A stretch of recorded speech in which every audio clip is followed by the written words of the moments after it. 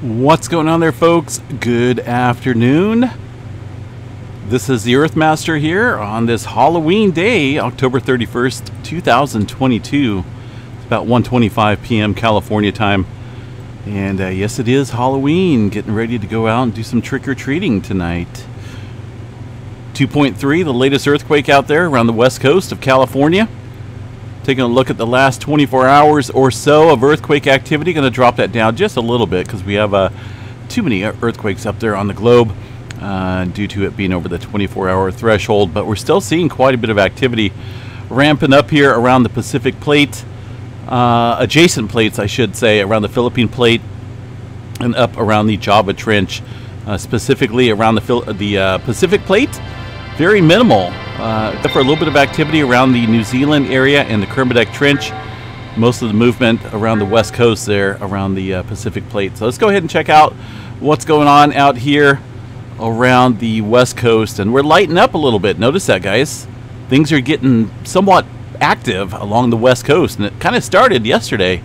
Had some activity right smack dab on the San Andreas Fault, the southern segment yesterday, right around the Wrightwood area. 3.0, uh, 3.0 came in uh, about 9, almost 10 o'clock last night. Did see a little bit of uh, aftershock activity following that three pointer. And a couple other scattered earthquakes throughout the, the evening, but here within the last hour, things lighten up in specific areas. For one, the Garlock Fault Zone, 1.3 right smack dab on this shear fault. Don't see a whole lot of activity out there, but today it's moving. Uh, also 1.9 over here outside the Santa Barbara area some earthquake activity there within the last hour. Also along the creeping segment of the San Andreas Fault, 2.1, uh, right around the Pinnacles area. The Bay Area getting in on some activity as well within the last hour, right on the Hayward Fault. All these uh, different fault systems here showing some movement today. 2.2 at 4.2 kilometers deep. Also up into Northern California, getting a little bit of swarming activity. Well, I wouldn't really call this a swarm but a couple twos, three of them to be in fact. Um, looks like the majority of this earthquake activity occurring a couple yesterday and one within the last hour. Now, Mount Lassen does sit within this area, and this earthquake activity roughly about five miles to the southeast. It is at the northern end of the fault system here. It's called the Butt Creek Fault Zone, Stover Mountain Fault. Yeah, kind of an odd fault system name, but it is what it is there. I didn't name it. And that does extend down here into a couple different segments south of Chester, south of the Lake Almanor area. And uh, is believed to have been on uh, either the Butt Creek Fault or one of these other segments where a 5.7 struck um, back in 2013. You guys remember that? 2013, uh, May 23rd. 5.7 kicking up there around the Lake Almanor area. Now, I did feel that earthquake um, when that kicked in that year. Uh, and it is believed to be on at least uh, uh, the that fault system I mentioned there, the Butt Creek Fault. On the southern branch of it, it looks like, which sits kind of just down here a little bit. Uh, it's kind of hard to see. You know, this this area is very forested, mountainous. And I'm sure there's a couple other fault systems up here that are not mapped, but uh, specifically this activity kicking up just right there at the northern end of that fault system today. So just kind of watching it, a little bit of movement out there on the North American side of the plate boundary and the Pacific side. Things kind of uh, things kind of active today. Up into the Pacific Northwest, the movement outside of Mount Rainier, 2.1, and Mount St. Helens, a little microquake up there. Uh, and here in the valley, in this little valley, well, I should say underneath the valley, because that's down there about 21 kilometers deep, 1.7 near St. Paul, Oregon, underneath this area. Now, I believe that's a subduction zone earthquake. Pretty deep movement for that area. I'm going to bring up just the 2.5 map and above, see if we're missing out on anything. Um, there's that three-pointer on the San Andreas Fault. The Calaveras Fault Zone looks like it had a little bit of activity off of it near Pleasanton. Although those two earthquakes there, um, looks like two of them are from yesterday. One overnight at 2.8 here along the uh, Calaveras Fault Zone. But definitely uh, sparking some interest out here with this uh, earthquake activity. Yellowstone National Park, they got a few earthquakes listed up here on the map. Looks like about 12 of them so far. Uh, let me turn off the bell. Hopefully I didn't keep that bell on too long. I always forget to uh, turn it off, but uh, good thing I checked. Earthquake 3D bell. 12 earthquakes. All right, let's see what we got here for the Yellowstone overview. Looks like a little bit of swarming kicking back up around the Yellowstone region. Overnight, we've seen that uh, right around bedtime or so. Looks like uh, this morning, quite a few earthquakes popping up there in a little rapid sequence. Looks like this is coming and going a little bit in the terms of the swarming department. It's been kind of an ongoing thing here for uh, over the past couple months there at Yellowstone, with only a day or two of hardly any any movement now, these are not big earthquakes whatsoever, but it is a swarm, and it's been ongoing, that's for sure. Um, nothing big overnight, looks like. Largest one looks to be a 1.7. Now, they should be coming out with a Yellow, Yellowstone monthly update. Uh, I don't believe that's come out yet. I am going to check it here just to see if they've put out a update on it. Uh, as far as the swarming goes, I kind of like to key in and see what uh, see what's up. October 1st was the last update. So tomorrow, uh, possibly in the afternoon time frame, we should have a new monthly update here from the USGS and in regards to the uh, earthquake activity as well. I'm kind of curious to see what they have to say about that. All right, back to the USGS map here. It looks like a little activity around the New Mexico and Colorado border early this morning, about 3 o'clock, 2.2 outside of the Trinidad area. And outside of Pecos, Texas, got some movement as well. Very typical out there in the oil fields. One earthquake outside of Tulsa. Don't see too much earthquake activity up there. 2.0 uh, at about 10 kilometers deep. Let's take a look and see uh, what we got for some satellite images here. Kind of curious. Looks like it is uh, just out, well, actually within the town there underneath somebody's house out here. Kind of crazy. Uh, U.S. hazard map. See what they got Tulsa in. Not really a seismically hazard area around the Tulsa region. In fact, it sits uh, kind of outside of this boundary. This little uh, this little fault system here across the area of, of Oklahoma, or the Arbuckle Mountains, Wichita Mountains over here to the west. Got some uh, areas of interest here, but uh, Tulsa definitely doesn't really sit in that zone. So, kind of an odd earthquake. Keep an eye on that. Uh, Elgin, South Carolina. This was yesterday here, 2.5. Notice it's in the red. That's indicated that it was felt pretty broadly um, from many folks. And it looks like the Did You Feel It reports here. Uh, I didn't feel it. That was a little bit too far.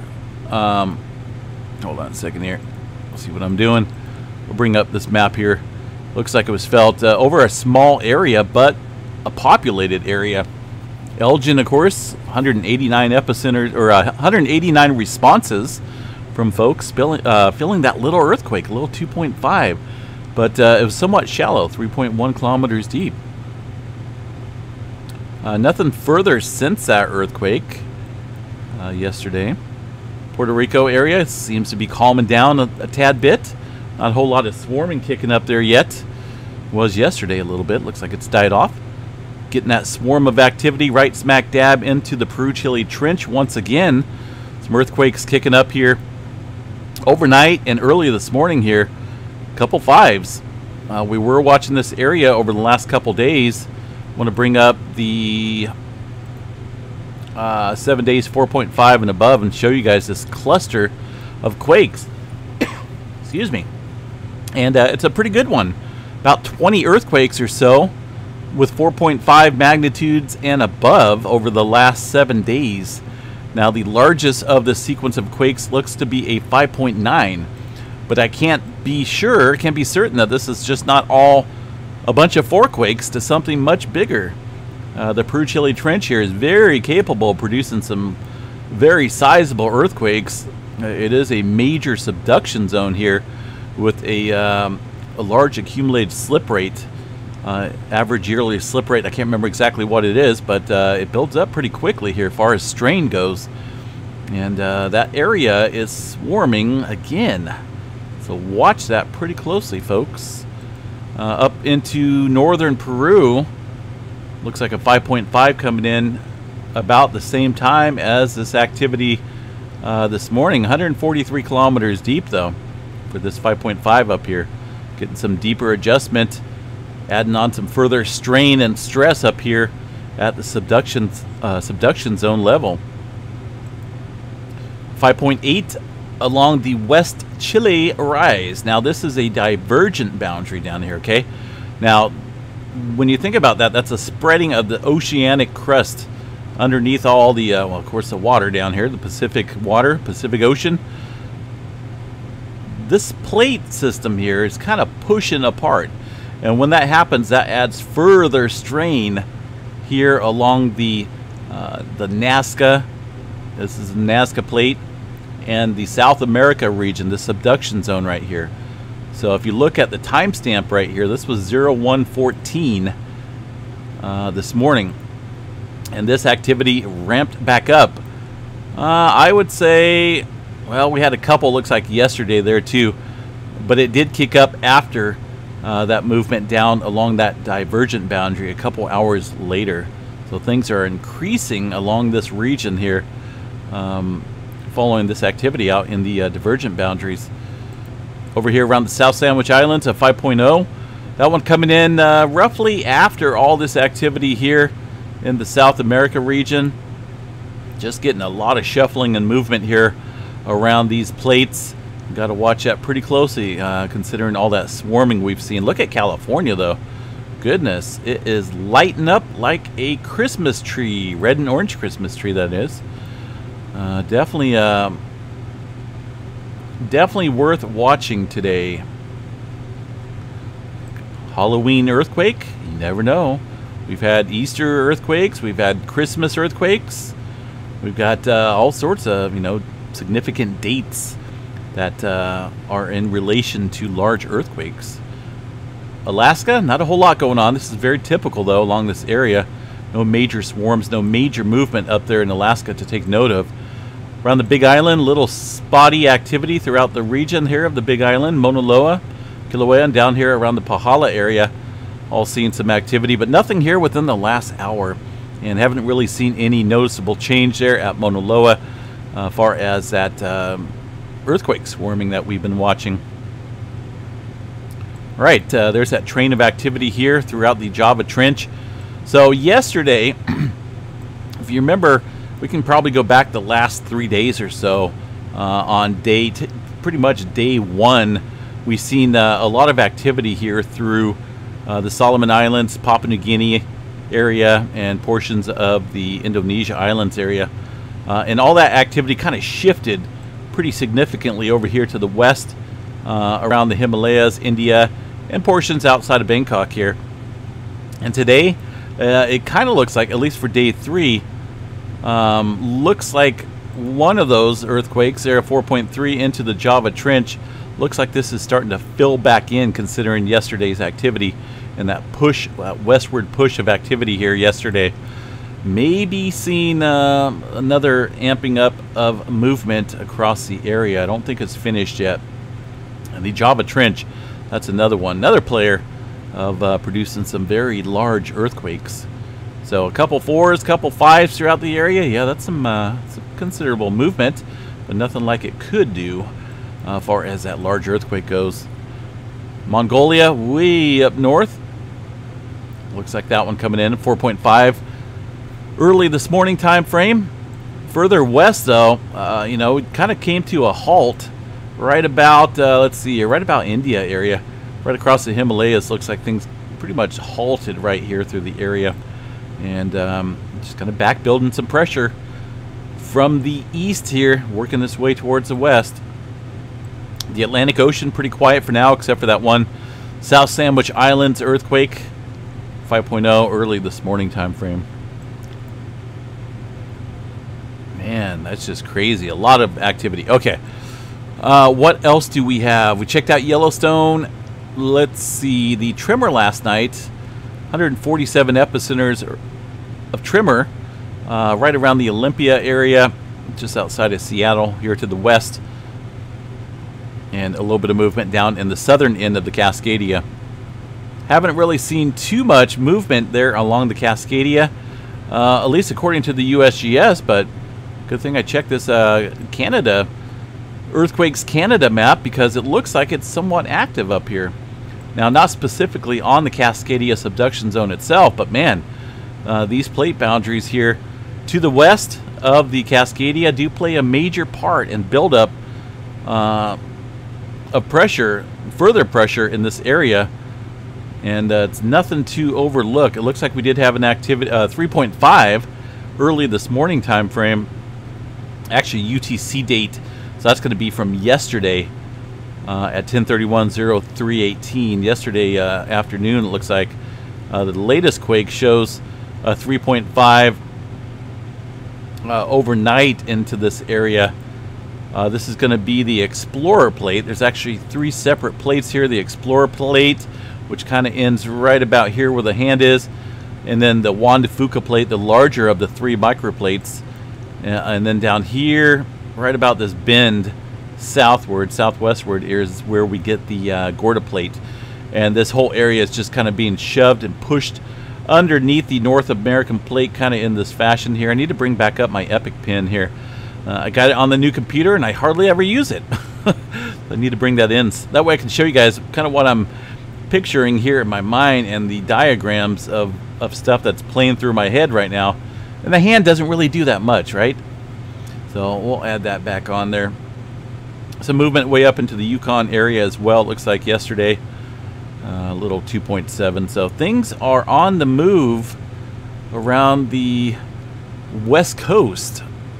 I want to check out a couple volcanoes out here and see what we got. Um, before we get to the PNSN network, I want to check out Mount Lassen and see what we got for activity. See if some of that movement around Mount Lassen is showing up on the seismographs here. So, pretty cool site to check out. USGS.gov programs uh, VHP. Here's the Lassen Volcanic Center, which currently sits at green. Nothing unusual going on. But down here we got some seismograph stations, and I'm sure this is where well, maybe. What's going on there? Maybe this is where they'll let me see it. Wow, look at that. From August 31st. Okay, let's go check out another one here. One of these have to be active. Come on, guys. Now, okay, this is recent. But where's our earthquakes at? I know for a fact, this, let me show you guys what I'm talking about here. There's earthquake activity kicking up there around Mount Lassen. And it's within the vicinity, very close to um, Mount Lassen area, to those seismographs. So there's no doubt in my mind that these two pointers are going to register across the Mount Lassen area. But uh, goodness, where is it? are we um, cutting these out? Are these where they're supposed to be and they're just now blanks? Let me uh, let me look at a different seismograph station here. That's a little on the fishy side. Where? Whoa! Holy smokies! Wow! If that is Mount Lassen, that is scary. Goodness. That's a lot of earthquake activity there at Mount Lassen. No wonder. I'm glad I checked this. I would say there's a lot more than two or three earthquakes kicking up there at Mount Lassen, wouldn't you? Now, these are definitely well-defined earthquakes. I know, and obviously, we watch you guys watch these videos a lot, right? I've looked at these graphs for many, many years, and these are what earthquakes look like here. Um, I don't think it's outside interference. So let's go and check here. Um, I'm going to screenshot this here real well. I'll get it here in a second. Keep that window open. Don't want it to disappear. So we checked out that seismograph uh, seismograph station there. Um, that's about the southern end of the flank of the volcano there at Mount Lassen. Check some of these other seismographs and see if they're getting the same stuff. Come on now. Now, let's see here. I've seen portions of it. There we go. Oh, yeah. There's some of it in there. Um, it's kind of in the shadow of the seismograph readings, but it, I can definitely see some of it in there. It's kind of overblown, uh, that seismograph station is, but I can still see some of that activity. Uh, this one here is lacking that activity. That's a little suspect there when they do that. It's just blocking out all the uh, larger size earthquakes. It's not even picking up anything. Uh, let me check over here by Manton. Uh, there's some of those earthquakes definitely registering over here on this seismograph station as well. So we got some type of swarming going on. Uh, I'm pretty 100% convinced now just by looking at this one uh, that we got some type of swarm going on at Mount Lassen volcano in Northern California. So on that note, let me check out the GPS measurements here real quick and see if I can uh, see where my GPS stations are here. Stand by for just a second. See if we can bring this up. I don't quite have all of my um, all of my GPS thumbnails here set up on the new computer but uh, I'm working on it. I'm definitely working on it. Let's see where we're at here. I have a couple different ones and gosh darn it I don't know if I'm going to be able to find it here throughout the hundreds and hundreds of bookmarks that I have out here oh man maybe yeah I think this might be one of them let me see here uh, it's not this isn't one of the well I might be able to check some on this one, but this isn't my normal one that I like to use. See what we got here around Mount Lassen. Uh, see, these guys, I don't really see anything specific up here. Now, there is a couple different um, options to view GPS around here as well if they are operational, but sometimes they look like this. You know, it can't, it's missing half of its data and it only goes back through June 2022. Um, let me look around, see what we got here, folks. Stand by. See, that one's missing some data as well. That's not very professional. Don't these guys get paid by taxpayer money? Hello? Where's our quality control? Is this an audit that I'm doing? I guess maybe it is, huh? You guys aren't doing a very good job there with keeping keeping these GPS stations up and running. Goodness. Missing half its data. Ah, December, June. Um, hard to tell with this. These are little plots there of uh, vertical uplift, it looks like. And there's definitely up, uplift going on. But I'm going to uh, I got to find that one site that I normally use. I'll come back to this a little bit later tonight. I don't want to spend too much time on it, but uh, definitely, folks, looks like uh, Mount Lassen is swarming. That's a swarm. That's it's a pretty good one too. So I will report back tonight, see what I can find. Um, and of course, bring up my normal GPS stations here and see what we can uh, figure out. Again, this may not just be specifically related to volcanic activity. This could just be a lot of fault stress build up in this region. Um, but then again, the USGS is only th showing three earthquakes here. And there is a lot, a lot more than three earthquakes. I could probably count who knows what. You know, if you want to count all these other ones in here, it could be well over a 100. So we'll report back on that tonight, folks, um, after a little bit of trick or treating with the kids, and um, hope everyone stays safe out there. Make sure you guys, uh, you know, bring bring some flashlights and whatnot for the kids, some glow sticks, and uh, if you're out driving around, gotta watch out for those kids. Or sometimes they cut in between cars, parked cars, and just a good day just to stay at home if you're not if you don't have to drive around. Less traffic out there, the better. uh, anyway, happy Halloween, folks, to everyone out there. And I will, uh, um, I'll post a couple pictures of me and Missy Mimi's on our YouTube account here. And uh, you guys can see what we're dressing up as for Halloween. All right, guys. We'll catch you back here tonight with the uh, complete update. Peace out.